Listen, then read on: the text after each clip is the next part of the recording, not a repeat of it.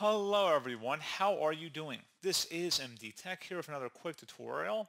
In today's tutorial, I'm going to show you guys how to go about disabling the Windows Recall feature, which is a feature on newer Windows computers, so Copilot Plus PCs, that act as a sort of photographic memory by taking snapshots of your screen periodically, which would allow you to search for specific content you've seen on your computer using natural language or speech.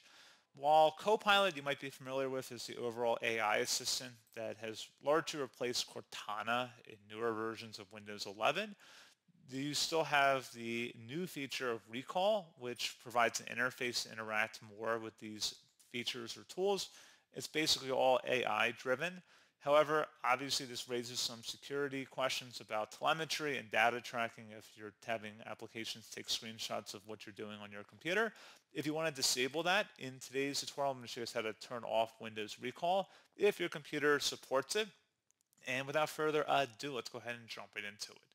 So all you have to do is open up the search menu, type in Windows Features. Best result should come back with Turn Windows Features on or off. Go ahead and open that up.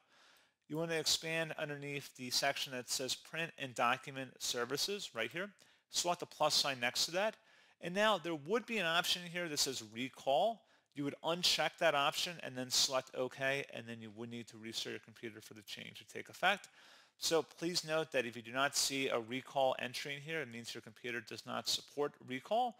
Most computers at the time of this recording do not.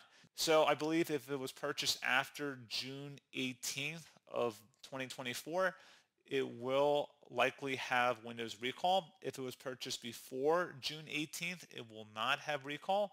You can also check by just searching in the search menu for Recall in here and seeing if it shows up. And there's other ways to turn on and off Windows Recall. And if you don't see that following any of those other guides, it means you just don't have it on your computer. It doesn't support it. And personally, I wouldn't want it on my computer anyway. So once you're done, like I said, if you did have an option here for recall, you would uncheck that, select OK. You would need to restart your computer. And that would be about it. So pretty straightforward process, guys. And as always, thank you for watching. I do hope I was able to help you out. And I do look forward to catching you all in the next tutorial.